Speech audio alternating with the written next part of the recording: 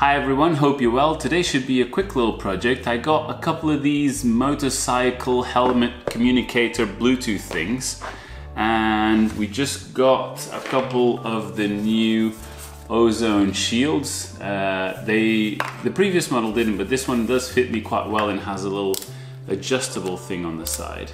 And it has these pads for the ears that to kind of like so you don't get so much wind noise in your uh, when you're flying. Um, so the Bluetooth module usually goes somewhere around the side here and these might have enough space to put the little speakers on um, and then a little microphone and I think that's it. So if these end up working out, I'll put a link in the description for these things if you guys want to make your own.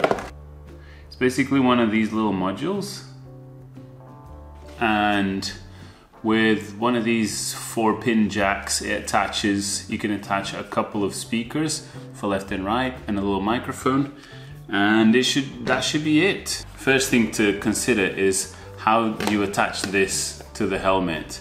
Uh, if you put this on it will have like this big bulky thing sticking out of the side. So I think tangle hazards in paragliding and paramotoring are quite a big deal so I'm not going to use this like this so let's look at a different option. So after freeing it from the case, it's actually uh, an interlocking case with no tabs. It's just super glued on. So it's a bit hard to, to get on, but then it comes off. The, uh, the antenna is a lot harder, so you actually kind of have to destroy, destroy it a little bit. But it's quite a simple PCB. Um, has the buttons on one side, the dipole antenna. This is probably for 5.8 uh, uh, a single cell LiPo, uh, 850 milliamp hours. And on this side, there's the actual components and the little jack. The cable, uh, I can't really solder it directly to that because the charging is also through that four pin. So I kind of have to keep this like this, uh, but maybe put it on this area here, or maybe even on this back area here, maybe reusing these maybe maybe something maybe something similar to this position in some way. This is a dipole antenna and usually the propagation pattern of these is uh, a donut so we definitely because our head is most of the time vertical definitely want to keep this vertical as well. It would be really useful to have a 3D model of the of the helmet so I'll have to do that next.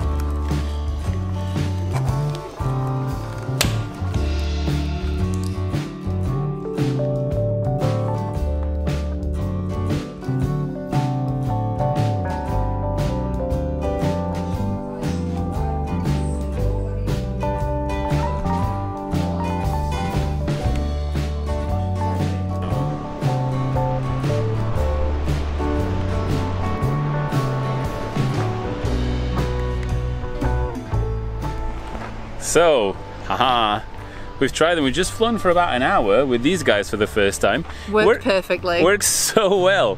We got as far as like one of us over there and one of us here. And sometimes, depending on the orientation, it does crackle a little bit, but for the most part, it's it's awesome. Yeah, the only two crackles were you said like when we're face to face because the antennas are pointing away from each other. They sometimes kind of did a bit of a, but we could still hear each other. and it, com- and- and it comes back. Yeah, once when I was behind a rock when you were on Yeah, it doesn't yeah, work so- well with obstruct physical obstructions, but with line of sight, it works really well. Very clear. The volume we have it about in the middle, so there's options to go up and down. Andre's really shot himself in the foot because now I can talk constantly to him while he's in the air as well as on the ground. But it's been really good because we've been doing exercise and everything, and the communication being two-way and instant is so much better than and the there's radio. no distraction. Like before, I really have to think about taking my hand, one hand off, and talking "Uh," and putting it back straight away. And I think, yeah, yeah, it's good. it's really, it's really good. good. It's really good. Really happy. I'm very surprised that it worked this well. I'm very proud of you because, uh, Ah. yeah, it's really good, and uh, I would never have thought of it, and I. I didn't want to damage our, our helmets either. I was like, But oh, don't do doesn't have- anything. but, you've not damaged the helmet in any way. It's No. like it's all add-ons that can be taken off, and it can be yeah, exactly. there's a tiny before. bit of thread cutting to insert the speakers, but that's minimal.